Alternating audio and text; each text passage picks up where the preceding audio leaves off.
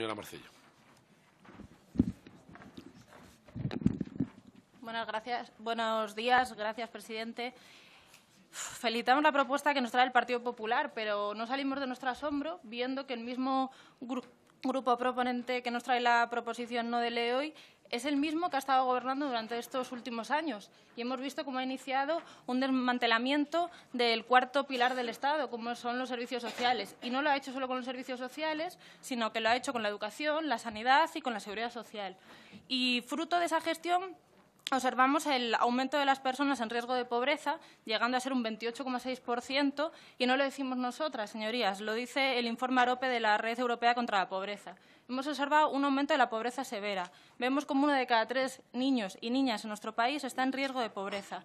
Vemos cómo, cómo la pobreza tiene rostro de mujer y cómo la pobreza energética es una realidad palpable y sangrante en nuestro país. Hemos tenido que ver, como ya se ha dicho aquí, cómo más de 100.000 dependientes han fallecido esperando la ley de dependencia. Vemos una saturación en los servicios de atención primaria de servicios sociales, que los ratios del personal de servicios sociales es insuficiente, que no existe un catálogo de prestaciones estatales en materia de servicios sociales. Hemos visto cómo se han iniciado procesos de privatización del sistema público de servicios sociales. Y, señorías, podría seguir enumerando barbaridades sobre la gestión del Partido Popular en materia de servicios sociales.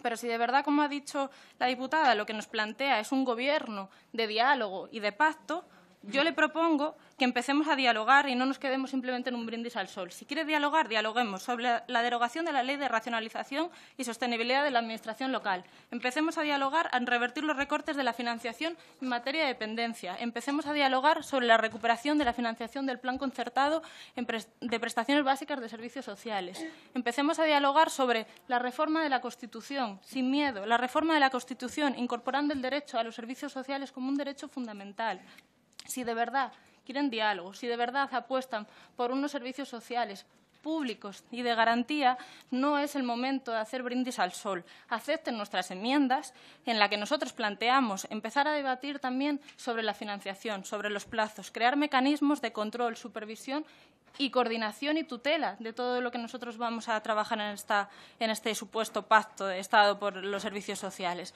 Por lo tanto, si no nos aceptan estas enmiendas, no podremos valorar ni votar a favor de un brindis al sol, de un gran titular vacío de contenido, como han hecho en estos últimos años, haciendo un desmantelamiento de los servicios sociales públicos de nuestro país, porque nuestra posición es y, será, y seguirá siendo defender los servicios sociales públicos, la creación de una ley estatal de servicios sociales públicos y tratar a las personas como sujeto de derechos. No podemos apoyar un brindis al sol, de verdad, no podemos apoyar un titular vacío de contenido.